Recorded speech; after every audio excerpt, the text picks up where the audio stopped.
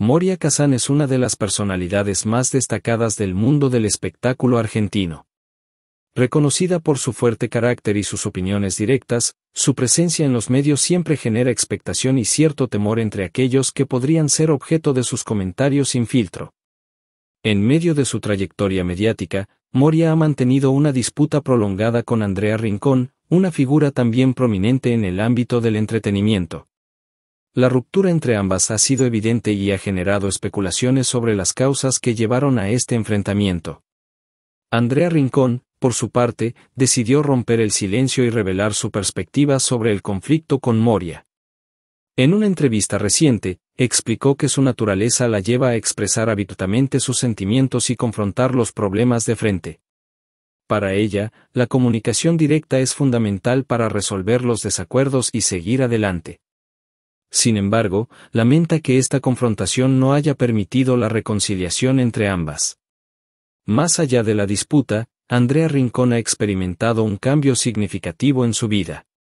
Recientemente, ha incursionado en el mundo de la música, compartiendo su pasión a través de interpretaciones emocionales de canciones religiosas.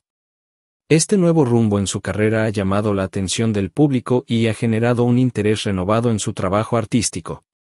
El verdadero motivo detrás del conflicto entre Moria Kazan y Andrea Rincón ha sido objeto de especulación durante mucho tiempo. Recientemente, María Eugenia Ritó, otra figura destacada en el mundo del espectáculo, arrojó luz sobre el asunto al revelar información sobre la causa de la pelea. Según Ritó, la disputa se originó en el ámbito profesional, cuando Andrea buscó desvincularse de Moria debido a diferencias económicas y de reconocimiento. Además, se insinuó que la pelea podría tener un trasfondo personal, relacionado con supuestos rumores sobre la vida amorosa de Andrea.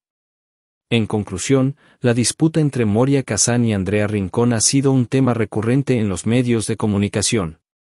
Más allá de las diferencias, ambas son figuras influyentes en el mundo del espectáculo argentino, y su conflicto ha generado un interés constante entre el público.